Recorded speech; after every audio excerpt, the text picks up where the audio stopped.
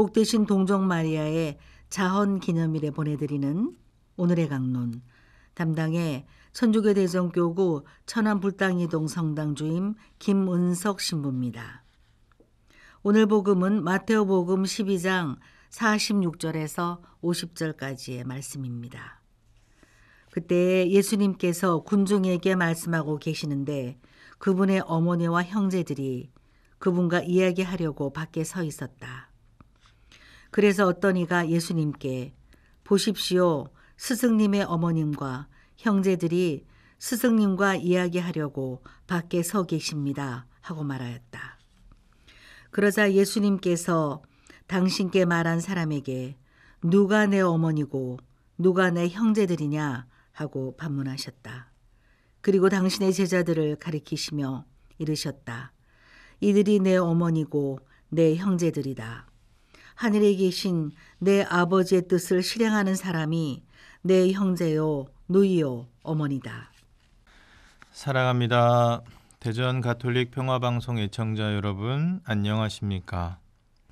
오늘은 복되신 동정 마리아의 자언 기념일입니다. 자언이라는 의미는 하느님께 자기 자신을 봉헌한다는 의미입니다. 성모님의 첫 번째 자헌은 그녀의 부모님을 통해서 성전에서 이루어집니다. 두 번째 자언은 가브리엘 천사의 수태고지, 즉 예수님의 잉태 소식을 전하였을 때 보십시오. 저는 주님의 종입니다. 말씀하신 대로 저에게 이루어지기를 바랍니다. 라며 다시금 자신을 하느님께 봉헌하십니다. 성모님께서는 이 두 번째 자언을 통해 구세주의 어머니가 되시고 모든 믿는 이들의 어머니가 되십니다.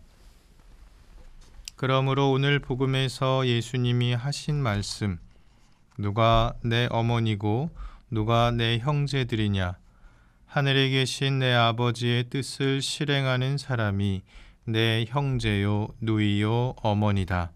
라는 말씀은 성모님을 어머니로 거부하는 것이 아니라 오히려 성모님을 모든 이들의 어머니로서 선포하시는 것입니다. 왜냐하면 이 세상 모든 이들 가운데 하느님 말씀과 뜻에 가장 깊게 일치하여 순명하신 분은 성모님이시기 때문입니다. 또한 예수님께서는 당신과 맺는 관계는 다른 것이 아니라 성부 하느님의 말씀과 뜻을 사랑하고 실천하는 것을 통해 이루어진다는 것을 이야기하십니다.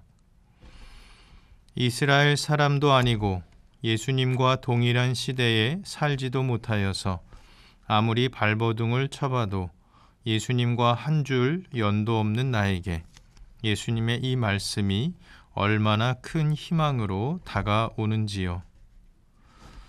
평화방송 청취자 여러분, 오늘 하루 하느님의 뜻과 말씀을 사랑하는 마음으로 하느님의 말씀을 구체적으로 실행해 보도록 합시다. 우리 믿음의 모범이신 성모님께 그 순명의 용기를 청하며 예수님과 한 가족이 되게 해주는 하느님의 뜻을 실천하는 신비를 살아가시기 바랍니다. 하늘에 계신 내 아버지의 뜻을 실행하는 사람이 내 형제요, 누이요, 어머니다.